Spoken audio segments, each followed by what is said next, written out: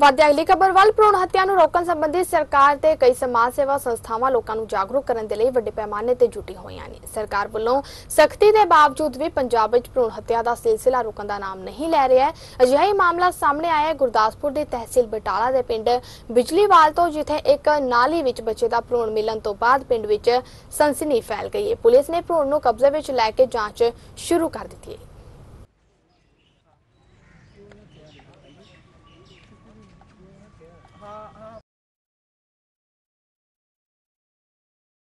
ਸਾਡੇ ਕੋਲ ਇੱਥੇ ਪੋਸਟਮਾਰਟਮ ਵਾਸਤੇ ਇੱਕ ਭਰੂਣ ਆਇਆ ਸੀ, ਜਿਸ ਦਾ ਐਕਸਪਰਟ opinion ਲੈਣਾ ਬੜਾ ਜ਼ਰੂਰੀ ਸੀ। ਅਸੀਂ ਆਪਣੇ ਡਾਕਟਰ ਸਾਹਿਬਾਨ ਨੂੰ ਉਹਦਾ ਪੋਸਟਮਾਰਟਮ ਕਰਨ ਵਾਸਤੇ ਕਿਹਾ ਤੇ ਉਹਨਾਂ ਨੇ ਵੀ ਇਹ ਸੁਜੈਸਟ ਕੀਤਾ ਵੀ ਇਹਦਾ postmortem expert opinion medical college Amritsar ਤੋਂ ਲੈਣਾ ਜ਼ਰੂਰੀ ਹੈ। ਅਸੀਂ ਉਹ medical college Amritsar forensic department ਵਿੱਚ